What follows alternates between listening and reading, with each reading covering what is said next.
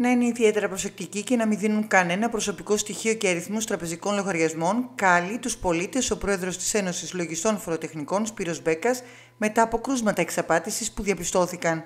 Συγκεκριμένα, επιτίδη καλούν τους πελάτες των λογιστικών γραφείων, παριστάνοντας ότι καλούν εκ μέρους του λογιστικού γραφείου, με το οποίο συνεργάζονται και τους ζητούν στοιχεία όπως αριθμούς τραπεζικών καρτών ή κωδικούς e-banking, υποκρινόμενοι ότι αυτές οι πληροφορίες απαιτούνται για τη διεκπαιρέωση διαφόρων αιτήσεων. Παραδείγματος χάρη για το Market Pass ή για αποζημιώσεις ή επεξεργασία φορολογικών θεμάτων.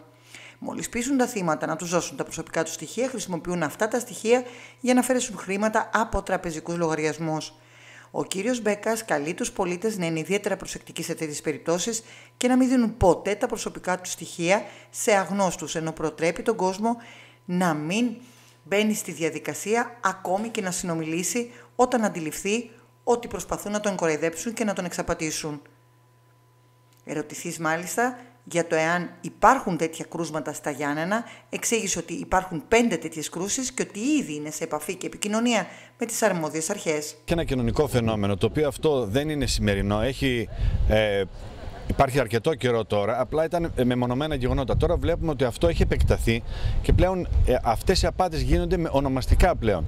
Ε, να γνωρίζει ο κόσμος ότι παίρνουν εκ μέρους, λένε και το όνομα του λογιστή και παίρνουν εκ μέρους του και βλέπουμε ότι έχουν πλήρη στοιχεία και ζητάνε προσωπικά στοιχεία των πελατών τους γνωρίζοντας βέβαια ότι ποιος είναι ο λογιστής και ότι ανήκει αυτός ο πελάτης στο λογιστικό γραφείο και ζητούν διάφορα στοιχεία προσωπικά ε, όπως είναι αριθμοί ε, καρτών, ε, τραπεζικούς λογαριασμούς ή να επικαιροποιήσουν SMS που αριθμούς παίρνονται μέσω SMS ή Viber.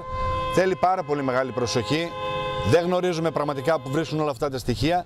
Εμείς, ως Ένωση Φοροτεχνικών Ιωαννίων και η Πανελλήνια Ομοσπονδία μας, αυτό που ζητάει είναι πλέον να είναι πολύ προσεκτικοί οι συμπολίτες μας και οι φορολογούμενοι για το πώς θα διαχειρίζονται τέτοιε καταστάσεις.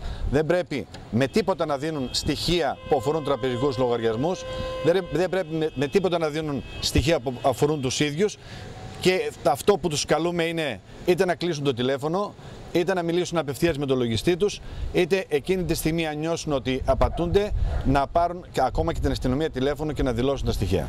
Ε, εδώ σε πώς ε, οχλήσεις έχετε για τέτοιες περιπτώσεις, στα Γιάννενα; Στα Γιάννενα αυτή τη στιγμή, το τελευταίο διάστημα, έχουμε γύρω στις 5 οχλήσεις, όπου πραγματικά ε, είναι πελάτης συγκεκριμένων λογιστικών γραφείων, γνωρίζουν δηλαδή ποιος είναι ο λογιστής τους και καλούν εκ μέρους του. Χρησιμοποιούν το όνομα του λογιστή και καλούν εκ μέρους του. Πραγματικά αυτό ε, μας πιάνει τελείως, μας ευνηδιάζει τελείως, που σημαίνει ότι δεν ξέρουμε πού αντλούν αυτά τα στοιχεία και αυτές τις πληροφορίες.